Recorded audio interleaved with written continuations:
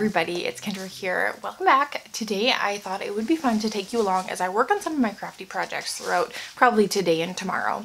I've been really hopping around between different types of crafts even, doing spinning and sewing and cross stitch and knitting too, and then also doing some store prep and things like that for my Etsy shop. So I thought I'd just kind of show you things as I work on them um, so you can see a little bit of what I have been working on. And I thought it would just be kind of like a uh, relaxed hangout sort of vlog. As you can see, I have uh, young kids and I don't have a lot of time alone. And so I'm just going to use little pockets of time here and there to show you some of the things that I have been doing lately. This isn't going to be my usual format, although really what is usual for me. I feel like I kind of jump around all the time on the types of videos that I want to make and honestly I feel like I don't lack the inspiration or the creativity. I have lots of ideas of things I want to work on and lots of plans, but I get like a burst of energy to work on it and then it kind of dwindles out as other things in my life take priority. And that's definitely been the case here over the past few months. It's been very busy and uh, we've had some extra kids staying with us, just very chaotic.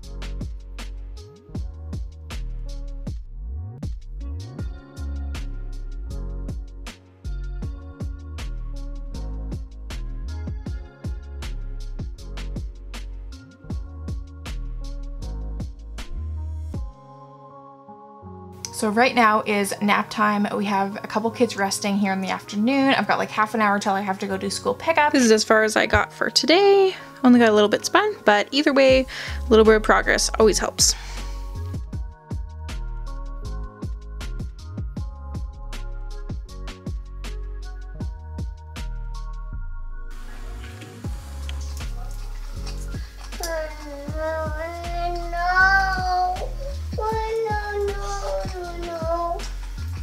So I do like to have an easy project ready to go to put in a few stitches here or there. It really does add up over time. And you know, something like this where I've only got a few minutes before I have to do the next thing, I can pull it out, put in a few things, and I don't have to worry about going to sit down, getting things settled. I can just put in a few stitches and then do the next cooking task. Mom? Yep. No. Yeah. Today I'm just cooking a deer roast with mashed potatoes and some vegetables and salad. And you know, the kids that have been staying with us eat either vegan or vegetarian, so we've had lots of lentils and beans and things the last few weeks. And so everyone's ready to change it up a little bit with this like classic prairie meal, I feel, tonight.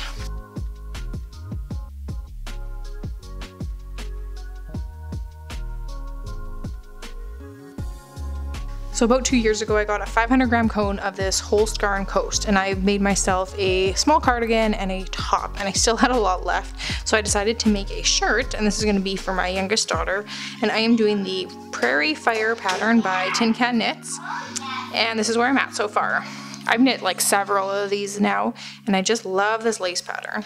It's not super intuitive, like I do have to check the pattern or the chart, um, but it's I don't know, I really enjoy it. And once you kind of get the sequence, it just repeats all the way across. and uh, I think it looks really nice. So that is what I have been working on in my knitting time.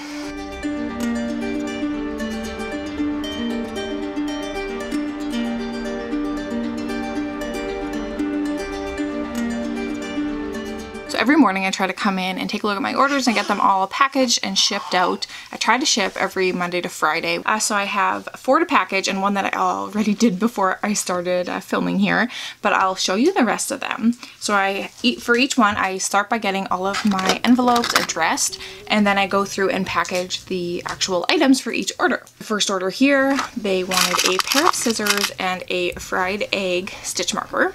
So I am starting to be at the point where I don't know where everything is, so it does take a little looking sometimes to find the ones that I need. I'm also trying to get a little bit better about labeling, but uh, at this point I've only got a few done. Um, lots of these are, some of them are singles, and some of them are triples. This person ordered one giraffe, one penguin, and one bunny. So most of my items I do have ready to ship, like with the clasp attached, but there are some where I give the option of having the fixed string or the lobster clasp.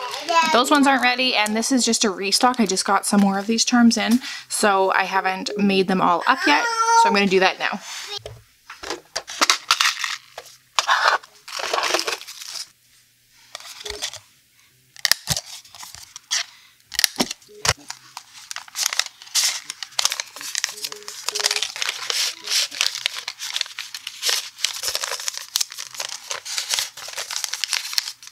So these are the cards that I send out with some information on the back with a little coupon code and things with each order. And I actually am soon, I'm actually maybe today, going to reorder my backing cards so that they kind of match a little better. I did have a different style that matched with these ones, but I ran out of them and I'm ready for a refresh. So one of these goes out with every order.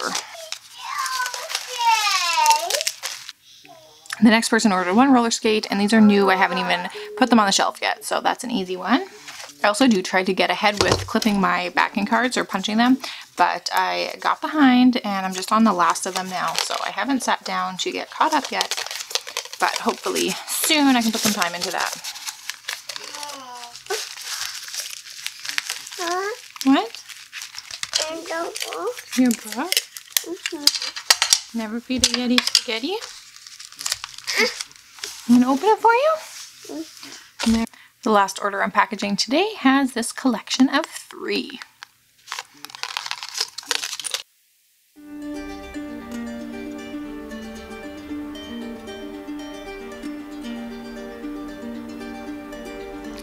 So all of these now have the backing with the thank you, and now it's onto stamps.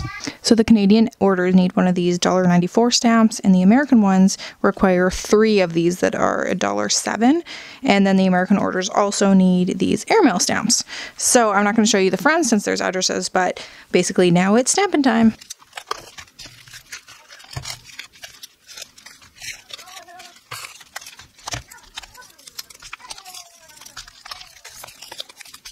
Just like that, these are ready to go in the mail.